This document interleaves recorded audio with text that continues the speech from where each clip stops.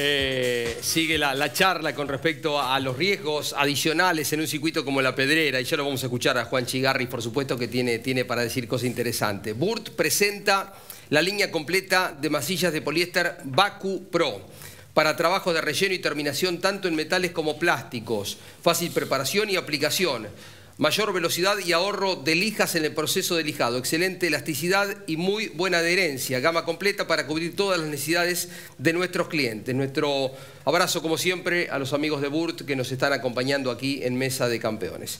Em, volvemos sobre el tema. Eh, Juanchi, ¿qué decía con respecto a, a, una pista que es de un escalón más riesgosa para romper el auto, pero ustedes sienten que están en situación de riesgo corriendo ahí? Eh, no creo que estemos tanto en riesgo los pilotos en cuanto a la salud, pero sí se pone en riesgo lo que hablábamos hace un rato de, romper el auto y los costos que eso implica. Eh, eh, sin ir más lejos, la Fórmula 1 a nivel mundial también hace circuitos nuevos, en callejeros, con paredones, circuitos muy rápidos y esto no es la excepción en la pedrera. Pero bueno, lo bueno que tiene el sobreancho de la pista es que a la hora de exigir te da un poco más de tranquilidad. Pero bueno, eh, haciendo hincapié en lo que decías, eh, no creo que se ponga en riesgo la salud de nosotros, sino la rotura y los costos que implica, que hoy por hoy el automovilismo no está, no está para nada barato. Eh, Antonino. Sí, em, por el lado de piloto, a mí me encantaría correr todos los años en el Callejero de Santa Fe, en La Pedrera, en Potrero, que es un circuito que lamentablemente está, quedó de lado. Pero hoy el tema que preocupa Em, son los costos de la categoría para, el turismo nacional. Mm. Em, es lo que, se, lo que se habló, pero después los circuitos, salís a pista el, sábado a la mañana de entrenamiento y no es como otro circuito normal, acá sabes que tenés que empezar de a poco, tener cuidado porque un pestañeo, cualquier error, sí, rompes el auto el sábado a la mañana y como puede pasar, no corres el fin de semana. Claro. Bueno, siempre, siempre existió en el automovilismo argentino, hoy es la pedrera, eh, en otros tiempos era el Sonda, aquellos circuitos donde quizás había que ir a correr con otro, con otro chip. Eh, ¿Te acordás como se dice en la jerga automovilística? En el Sonda íbamos un fin de semana y decíamos, ¿cuántos vuelven en una bolsa? Uno, dos este fin de semana. Bueno, tal vez eso hoy se ha trasladado a la pedrera, pero me parece que hacen bien este tipo de circuitos en los calendarios. lo que hay que pensar es lo que conviene a la mayoría y lo que conviene a los intereses en general de la categoría. Yo por supuesto es antipático para los dueños de los equipos, pero bueno, eh, hay deporte más barato, te compras un par de zapatillas y vas a correr una maratón. Es el automovilismo, las exigencias en definitiva son las que hacen que esto crezca y hay que pensar en el conjunto, o sea, no pensar en lo particular. No vi Muchas las mediciones, pero seguramente esta carrera, Lonchi, no vi las mediciones, pero seguramente esta carrera genera más interés para el que está del otro lado, seguro. para estas miles de personas que se suman en una carrera como esta. Y el TN viene creciendo, a las 10.000 personas que había es porque la categoría lo da y el circuito y la gente le gusta ir. Y hay que pensar, por supuesto, sin, cuidando siempre, preservándolo a los chicos, a los pilotos. Bien. Pero después el resto forma parte, digamos, de lo que tiene que ser una categoría. Compacto de accidentes porque los hubo, varios y fuertes, ¿no? El sábado y domingo. A ver, a ver. Jerónimo Tetti, de Lobería, esto pasaba, el golpe fuerte y de tal forma se descontrola el auto que termina ah. golpeando más fuerte aún del otro lado, ¿no? Uno de los tres primeros del campeonato, uno de los ganadores del año, ¿no? Ahí ya nos animábamos a aseverar que no podrías competir el domingo. Fue así nomás. Alfonso Domenech, Andy, ¿no? En la serie, cuando venía disputando con Sebastián Gómez, sí. Juan Cruz. Benvenuti. Otro que no pudo largar después de la final. Este es fuerte. Santiago Mayo. Sí. Daños importantes. Se bajó caminando. Se bajó caminando, sí, por suerte. Miguel Ciaurro es este, ¿no? En la clase 2 ya estamos. Usado por Alejo Borgiani.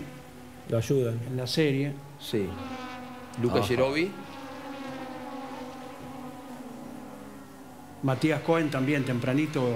También el ancho de la pista es como que, no sé, ustedes lo pueden decir, ¿no? Pero es como que te lleva a, a arriesgar un poco más, me da la sensación, ¿no? Porque muchas salidas, digamos, laterales. Sí, es duro porque, mm, por ejemplo, el callejero de Santa Fe son velocidades más, más reducidas al ser tan chiquito. En este tenés velocidades de un circuito normal, pero con la pared en la línea. Entonces, por eso se dan accidentes por ahí un poco fuertes. Eh, para mí parte del problema fue en el caso sobre todo de, de Domenech, que simplemente esquiva un auto que se estaba quedando mm. y al, esquivarlo sale la trayectoria y agarra una tierra que lo lleva directamente al muro. Entonces hay algunos que se pueden evitar que son los que los que sí se debería trabajar cuando la categoría vuelva a visitar el lugar. Limpiar las pistas. Limpiar la pista más. Limpiar las pistas Trabajar más, que, en otro circuito en ese aspecto. ese curbón a la derecha es fuerte. Donde se había golpeado Moriati, ¿no? Eh, era, Se modificó ese, con el TC. Con el TC. Además, eh, bueno, lo, anduve en bicicleta hace un par de años. Tiene subidas y bajadas. Visualmente no se ve, pero también tiene subidas y bajadas.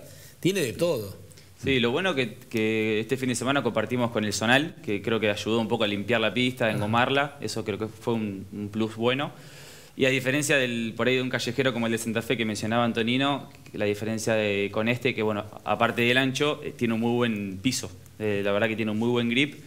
Y eso te da tranquilidad a la hora de exigir, como decía hace un rato, que a la hora de clasificar y pelear un puesto, eh, no estás tan con la soga al cuello de saber que te vas a golpear que distinto para que cualquier otro circuito para prepararlo, ¿no? Porque es una pista, está en un polideportivo, hay un estadio en el medio de la pista, es una pista rara, ¿no? Distinta a todo, ¿no, Andy? Claro, sin dudas. Aparte el promedio no es muy alto, el promedio de vuelta, 140 kilómetros, cuando a qué estimativamente RPM y velocidad llegan al final de, de la recta. 2.35 más o menos, más menos. ¿Y, sí, es una mezcla. ¿Y con la sexta larga? O la... Con la sexta larga, sí. Larga, así que... Las chicanas es como que le, bajan un poco, pero esto que decías, por eso decíamos que es el Sochi argentino, ¿no? Haciendo la comparación con el circuito de Fórmula 1 que tiene el complejo deportivo de, los Juegos Olímpicos de Invierno. El estadio de fútbol, las canchas de, de, handball, el anfiteatro. Hay partido el miércoles inclusive en el... Juega River, ¿no? Juega River, estuvo Lali. Lali. Estuvo, estuvo Lali. de a la tarde, ¿no? Exacto. Otra cosa a destacar del circuito también son las vías de escape, que eso es, se fabricó muy bien el circuito. Pensando en eso, por si bien vos decías que no son muy altas las velocidades, pero es importante tener vías de escape grandes para evitar el golpe. el promedio, que contrasta mucho la velocidad final con el promedio que es de 140, por lo lento de algún sitio. Tenés un circuito que ¿no?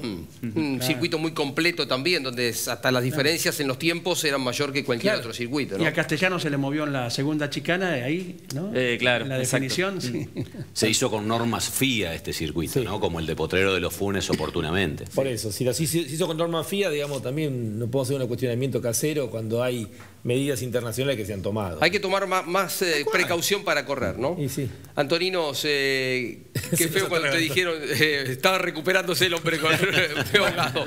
Eh, ¿Estás en condiciones? Así estaba cuando salió el último pescar. eso te iba a preguntar eso. Pero no, no, estamos, estamos. ¿Qué pasó cuando te dijeron pescar? ¿Te avisaron por la radio o lo viste? Eh, no, lo vi, lo vi en el liso y bueno, sabía que podía, eh, las posibilidades eran, eran altas, venía muy cómodo, pero eh, podía aparecer y la carrera está tan tranquila que algo puede suceder. El, equipo capeó un temporal muy fuerte a nivel económico hace poco. ¿Cómo van surgiendo y con este resultado? con un esfuerzo grande de, por parte de Pepe, de algunos sponsors y de mi familia para poder continuar. Sí, son muy complicados y mm, nada, con las ganas que, o con, como lo hicimos siempre, teníamos mucha fe de, este año estar ahí adelante, fuimos a probar. Eh, la verdad que se ha trabajado mucho, con, con más ganas que antes, pese a algunos golpes, para poder estar donde estamos y ojalá terminar el año de la mejor manera. A propósito de equipo, eh, Juanchi, también vos estás en una estructura importante, la de Gustavo Cano, eh, con Facundo Chapur, con Gastón Llanza, pero bueno, eh, con el Citroën también y con el PG Belloso pudieron darles ustedes una gran alegría, ¿no? Sí, la verdad que sí, con este proyecto del, auto nuevo, está un poco esta locura que, que me planteó el PG el año pasado, de ir con el, con el, con el Citroën nuevo, el CLC, eh, que yo, yo acepté, me, gustó el desafío y sabíamos que iba a ser difícil, un auto nuevo, un modelo nuevo que no tiene referencias, es difícil compararse y mejorar, pero la realidad es que estoy muy, muy a gusto en el equipo donde estoy. Facundo y Gastón me dan una mano muy grande, que ellos tienen mucha experiencia en la categoría y es, muy difícil andar bien. Así que creo que todo el conjunto, Carlos Serpero también en la ingeniería y, Miguel Alici también que tiramos todo para el mismo lado y, la verdad que se hace, se hace más fácil trabajar así. Así que bueno, eh, un poco creo que esto es el, fruto de todo ese esfuerzo y esa capacidad que se junta para, para lograr. Pensar cómo te lo trajiste de Bahía cuando lo estrenaste, ¿no? ¿Te acordás? De la fecha estreno en la serie. Una mala fortuna con, con Rosotti, que lo, no lo pudo esquivar, rompimos... Sí, la verdad que dieron ganas de llorar ese día. con el Rey que se rompieron los largueros, se rompió bastante el auto y no, fue la mejor manera de estrenar un. Y la de Antonino en Neuquén, y mirá dónde están hoy. por eso, eh, ojalá el TN el año que viene se anime, porque tiene un crecimiento impresionante, las estructuras de los equipos, que se anime a hacer un año sin kilos. Probar un año sin kilos, volver a lo genuino. El TN es la categoría genuina porque son los autos de calle hechos de carrera. Hay que animarse al 100% genuino que fue cuando fue grande el automovilismo. Que hagan un año entero sin kilos y aparte porque la categoría tiene grandes pilotos. Grandes pilotos, algunos que tienen la posibilidad de correr todos los fines de semana, otros que no, como el caso de los chicos, y que están en el mismo nivel. Entonces, teniendo referentes eh, dentro de la categoría genuinos, va a crecer mucho más la categoría. Ojalá se anime en el próximo año, como van a hacer la carrera de dos pilotos, y ojalá después se haga una carrera de una hora, de dos horas. Hacer todas estas cosas porque hoy el TN tiene todo para seguir creciendo. Montorino, ¿qué pensás? Eh, sí, puede ser. La categoría eh, pese a los costos o, muchas situaciones, como dice él, está creciendo y, no limitarse. Obviamente que son cada tema, el tema kilo es un tema que se viene hablando mucho, importante, pero, pero la categoría puede animarse a, seguir creciendo y como dice, por lo genuino, porque acá eh, se sigue con las series clásicas, no hay otro tipo de penalizaciones, no se necesitan siempre carreras especiales para dar espectáculo, entonces tiene una, base fuerte sobre la que se puede trabajar. Sí, sí, tiene una base fuerte, tiene cantidad de autos, calidad de autos, de pilotos, diversidad de marcas, motores que hacen un buen ruido, tiene un montón de, cosas a favor, ¿no? El turismo nacional que está fortalecido en los últimos años y bueno, se vio una vez más. Hacemos una breve pausa, nos metemos en el capítulo Top Race, tenemos mucho más para compartir, también la Fórmula 1 en un ratito aquí en Mesa.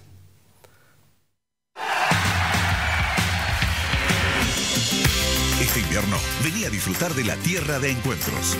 Termas de Río Hondo y la Madre de Ciudades están listas para que vivas una experiencia inolvidable donde te espera el sol. Termas es vida. El servicio personalizado Chevrolet es la mejor opción para el cuidado de tu auto. Disfruta de la seguridad y confianza de dejarlo en manos de quienes más lo conocen. Repuestos originales, técnicos especializados y la garantía de la red de talleres oficiales Chevrolet. Este mes aprovecha los mejores beneficios. Solicita hoy tu turno online. Postventa Chevrolet. Agenda, vení, comproba.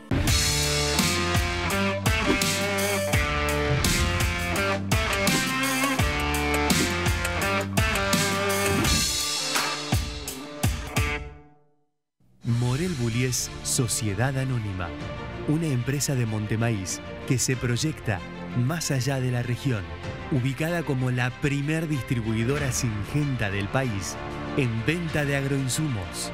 Morel Bullies Sociedad Anónima, confianza, compromiso y seguridad en servicios agropecuarios. Morel Bullies Sociedad Anónima.